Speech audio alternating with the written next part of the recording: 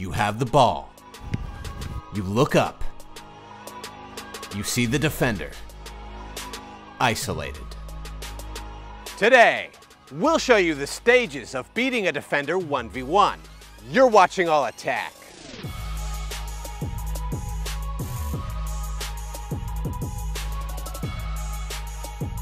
Stage 1. Recognize the situation. The first step to beating someone one on one is to look up and make sure it's actually a one on one. If there's three players in your way, then it's probably not a good idea to try and dribble them all.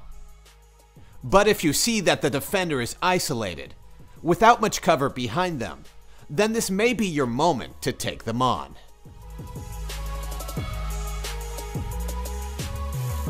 Stage 2 Dribble at them.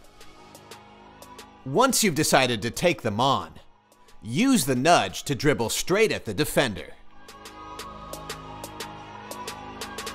The nudge is a dribbling technique that allows you to run with speed while keeping the ball close. Dribbling at your opponent forces them to engage. Either they're going to back up forever and give you an open shot or cross, or they're going to stop and try and take the ball from you.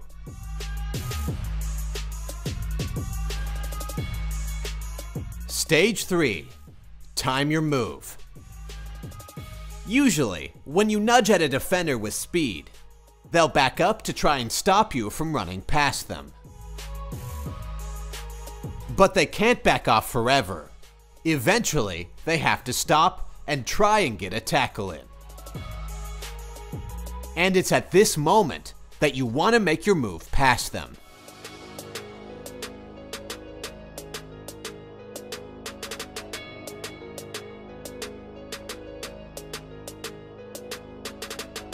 When you're dribbling at the defender, watch their legs closely. And the moment they stop or move to take the ball, that's when you cut past them.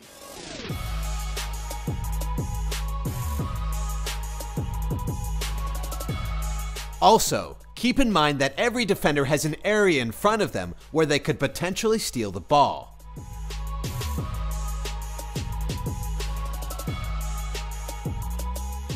So it's best to make your move before you get too close.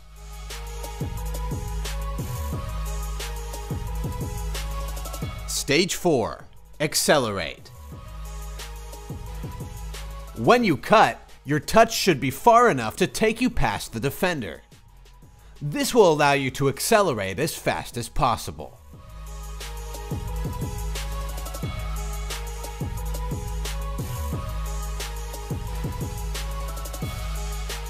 Also, make sure to keep your arm ready to fend off any attacks from the defender. At the end of the day, if you want to beat someone one-on-one, -on -one, you need decent acceleration. At least compared to the defender you're playing against. If you want to improve your acceleration, you can check out some of our speed videos in the description. You can use simple skills to beat a defender. You can use complicated skills to beat a defender. Or you can just cut past them with speed. There's no one way to beat a defender.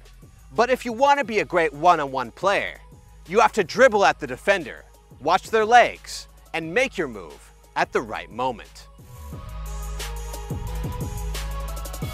All right, everybody, make sure to leave a like, make sure to subscribe, and make sure to leave a comment about what you want to see next.